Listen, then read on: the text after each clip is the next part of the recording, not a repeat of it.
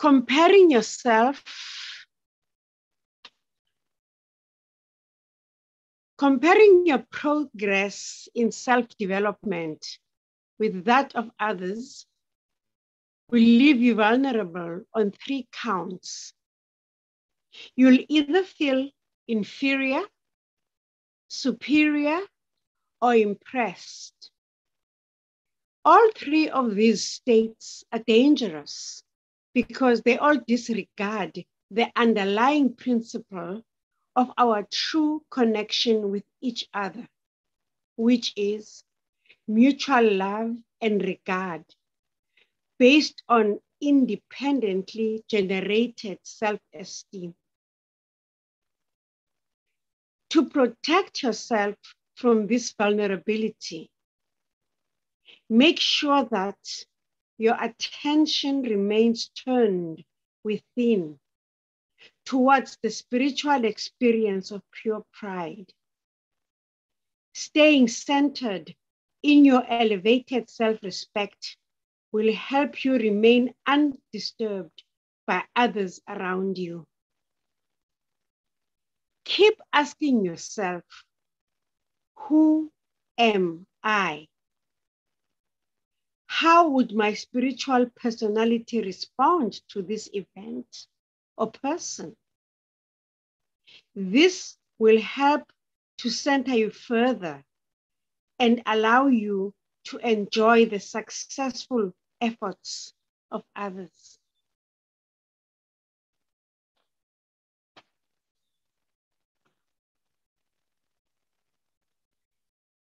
When I read this piece, I thought I love Dadi's way of unpacking anything because, first of all, she takes you into the process of the negative aspects and the results of that of that of those negative aspects and then takes you into the positive aspects that will help us to grow spiritually.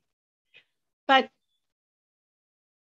I was thinking of the word comparison because comparison is in our lives on a daily basis in everything that we do, in everything that we see, in fact.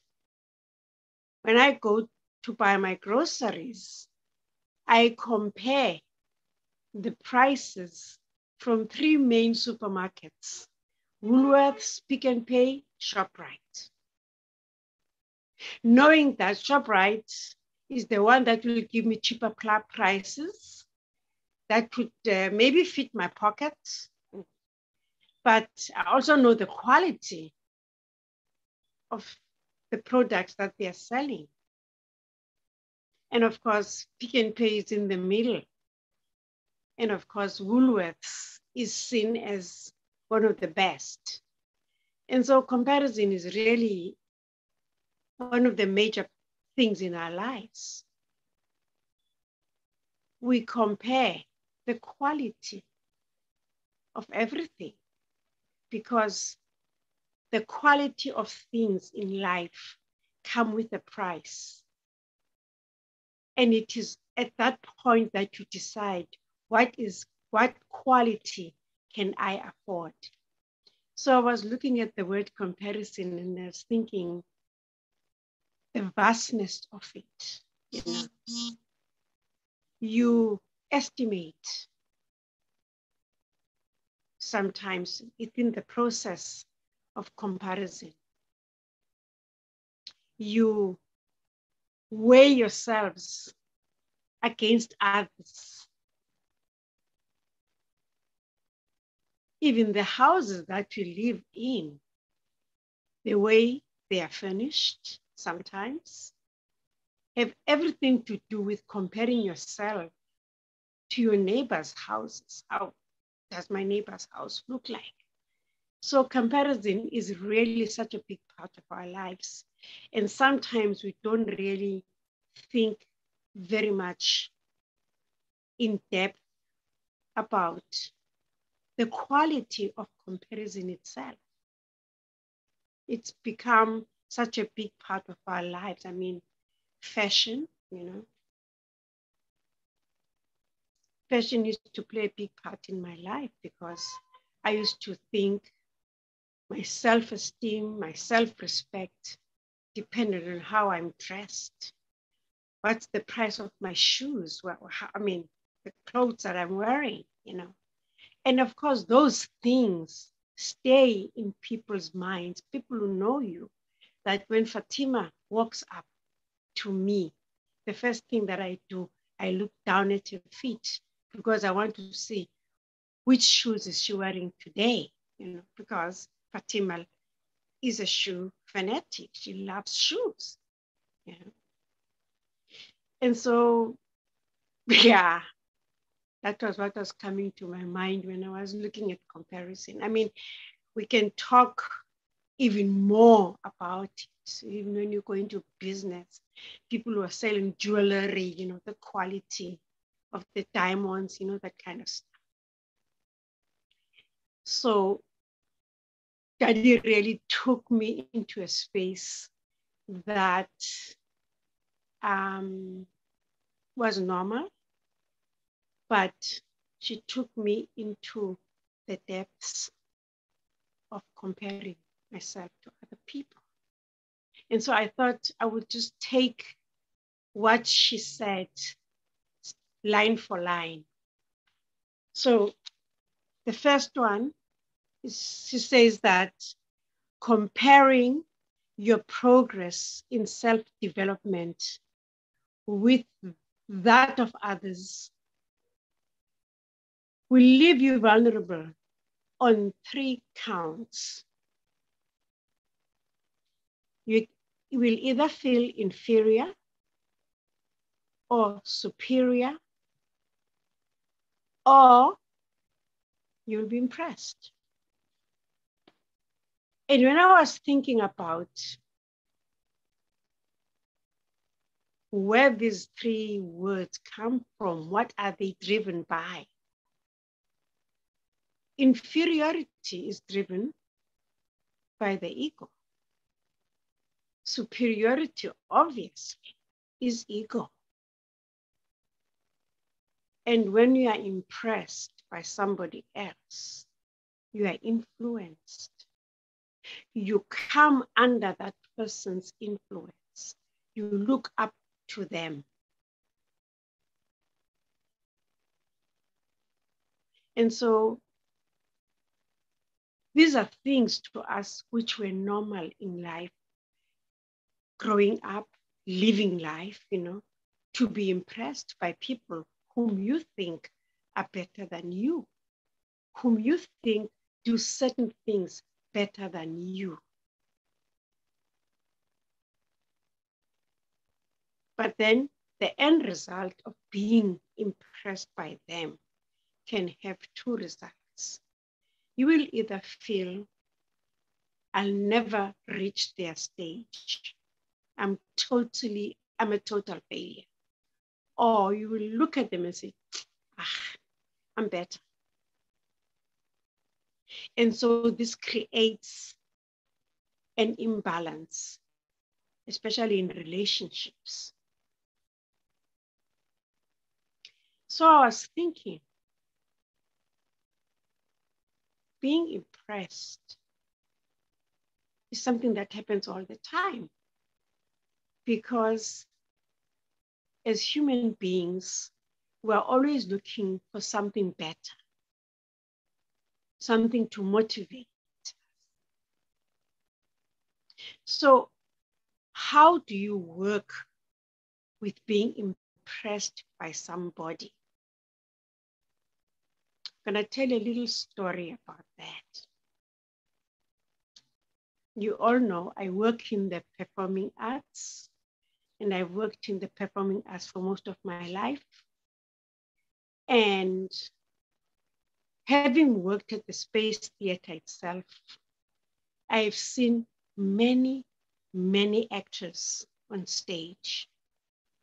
I have seen people who become so absorbed by the characters that they are playing that you become convinced that that person is exactly that character that they are portraying. In other words, the performance is so incredible. It is so powerful. You are speechless, totally impressed. You are pulled by that person. And all you ever would like is to act like that person. Or if you're a writer, write like the person who wrote the script that the actor is performing. And so there I am, I'm impressed, pulled by that. So there was a, a lady that arrived from Port Elizabeth, a black lady, who came to work at the Space Theatre. I didn't know her. I just met her for the first time. And she was given a role in a play called Medea, which is a Greek play. And she was going to play opposite one of South Africa's best, best actresses, Yvonne Bryceland. And I know Yvonne, I've seen her on stage many times. She can be anything. She can be a bergi. She can be anything. Because when she sets her mind on that character, she becomes that. And I'm sitting there and I'm thinking, oh my goodness, this lady, this lady from Port Elizabeth who's going to be acting opposite Yvonne Bryceland. I hope she knows who Yvonne Bryceland is. I hope she, she knows how powerful Yvonne Bryceland can be on stage and that she'll be able to cope with her because they'll be in a play where they, she will be working against her at some point in the script. So I'm sitting there anxiously rooting for my black sister from Port Elizabeth because I know this lady, Yvonne Bryceland. She's a powerhouse. Then we got to the climax of the story where the two women began to quarrel because they were disagreeing on a point.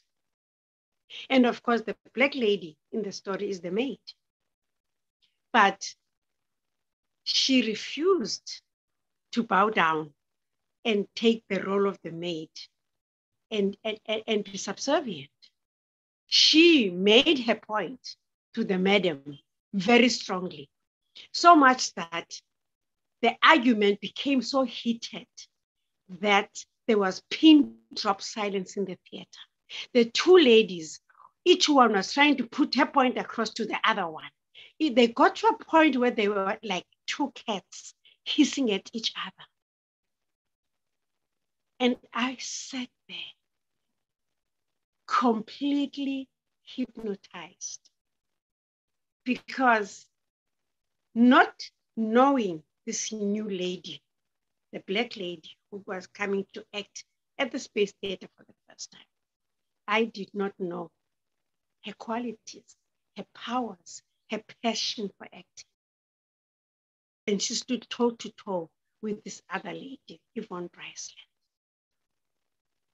And I learned a lesson from that performance that do not start off by comparing two people when you only know the one person's skills and you don't know the other person's skills. That was my first lesson. Secondly, I was afraid for her. I was afraid for her. But I was afraid for her because I did not know her. I did not know her qualities. I did not know her strength. I did not know her gift as an actress. And I learned that lesson that night. That before you compare, first of all, we have to see the abilities of the two people that you're comparing. And then I ended up being impressed by her also. I mean, I was really, really impressed by her. And as I got to know her more, I realized that there wasn't any genre of theater that she could not act in. She could do Shakespeare, she could do Greek theater, she could do any classics.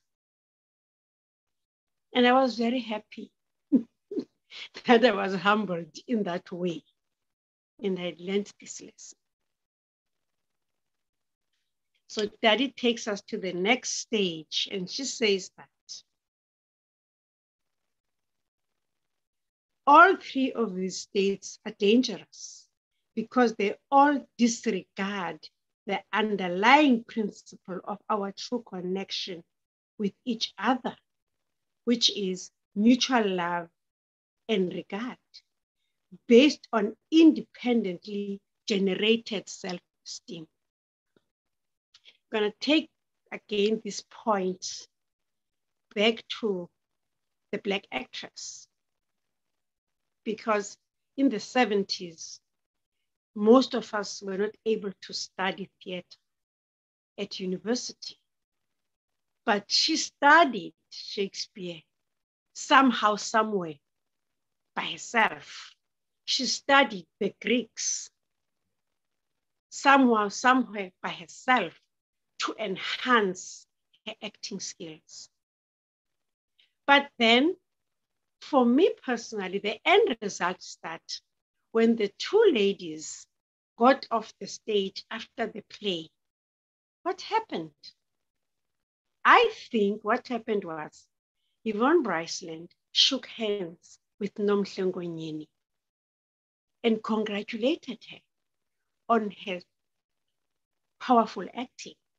Because it, one of the best things in the world is when you have another actor who's acting opposite to you who is as powerful as you are, because that generates the energy of the play, the energy of acting, which results in the audience being pulled into the story even more. And so that mutual respect for one another, that love, that appreciation that Dadi was talking about is what, when I was thinking about the end result of that performance between the two ladies. And I'm sure they became friends. Now, going back into this process, that, that is now giving us advice and a way forward. To protect yourself from this vulnerability, make sure that your attention remains turned within towards the spiritual experience of pure pride.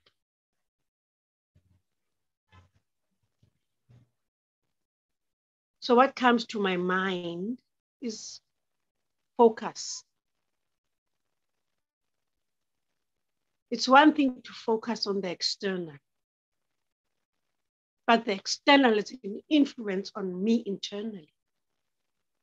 So when I sit in silence and I look at the experiences of external influences on me internally, then I can begin to see the influence of external experiences on me me and my shoes that cost a lot of money. I was taking from a possession to feel good about myself, not knowing that I already have goodness inside of me. And Dadi says, keep asking yourself, who am I? And that is a very, very important question to constantly keep asking yourself, who am I? Because now I know my identity completely. Before, I used to think I'm this body. I used to think I'm a lady, a woman, female. I used to think I'm an African, I'm black, But having come into the spiritual university and studied, I learned that I am not just this body. Actually, my true identity is that I am a soul. I am this point of light, this life force that's inside of me that brings this body to life. I can think because I, the soul, I have a mind. I can also look at the qualities of my thoughts because I, the soul, I have an intellect, and my intellect is part of my mind. It has the ability of knowing right and wrong. It works with my conscience. So when I know who I really am, it helps me. Because the other thing that I know definitely about myself is that I have divine qualities in me. I have the virtues in me. There is the quality of purity that is a part of me. Peace is a part of me. Power, spiritual power is in me. Love. Love is not something that I look for outside from other people. I am love. So I have all these quality, qualities inside of me. And so by asking myself that question, who am I? All of these things come up that I already have them. So to get rid of comparing myself with others, inferiority complexes, superiority complexes, those things came to me because I forgot who I was and I used them. I used my ego to protect myself. I became hard because it was the only way to defend myself from the outside world. But now I know I don't have to use negativity to defend myself. In fact, I don't even have to defend myself. Now I know that everything that I do, if I do it with love, love softens even the hardest person. When I do anything with care, care is also a part of love. It's words that come from the word love. I do everything with care. I am actually re empowering my innate qualities, my God given qualities, the qualities that I always say are my DNA, my spiritual DNA. And it is the same DNA that God has. And so that is pointing me back to myself, to my original self. And when I do that, my self development will work because I've poured the petrol of my innate qualities into my self development. And when I'm busy focusing on myself, I have very little time to focus on what's happening outside of me. And when the outside comes inside of me, I will not react in the old way. I'm going to stop for a moment and think of a positive way of handling the negativity that is coming from the outside.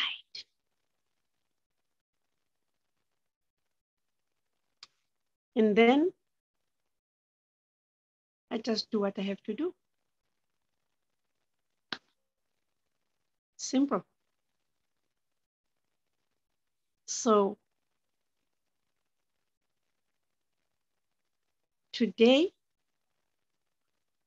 when we leave this program, just watch yourself and see if you're comparing yourself to others. When you sit in silence, just look inside and see if there are still any traces of inferiority in yourself. And now you know when there is inferiority in yourself, it's because you were looking down on yourself when you saw that another person was better than you. So change that around in that silence and tell yourself, I'm a soul. And I have all of these divine qualities in me. And I am going to develop these qualities in me until they become a part of me that I'm using on a daily basis without even trying but they just come up automatically. And I'm that. Om Shanti. Let's just sit quietly and just have a moment of reflection.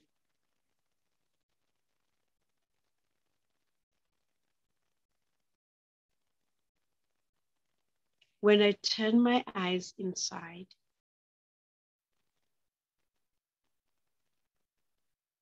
I look at myself with my third eye, the eye of the soul.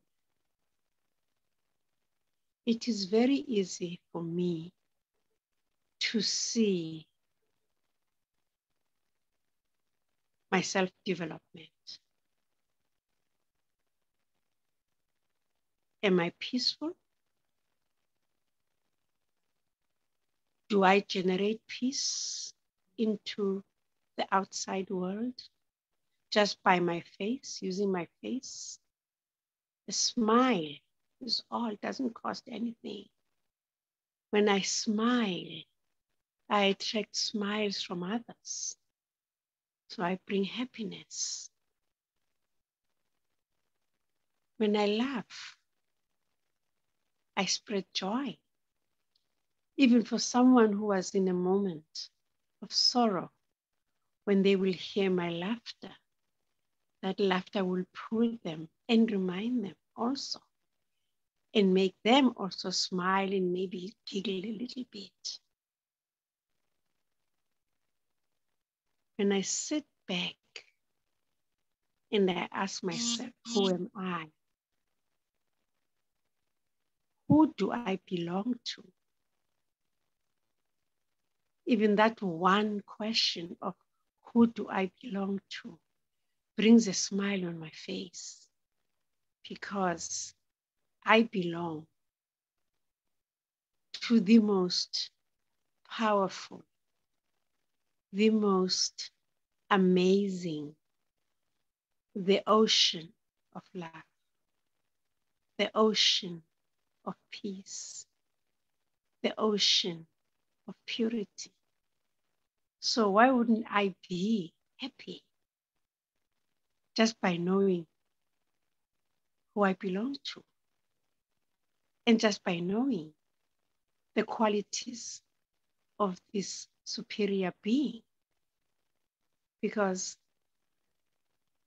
I am pulled to him by those qualities, God's qualities. I want to have them. I want to be like him. I want them to fill my life completely so that wherever I go, I just spread happiness and peace. And this is what I'm going to do today when I leave my house. I'm just going to spread a smile on my face and give happiness. Om Shanti.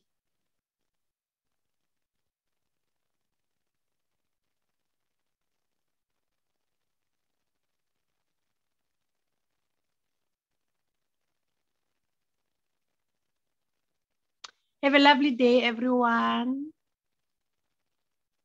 Thank you. Thank you. Thank you.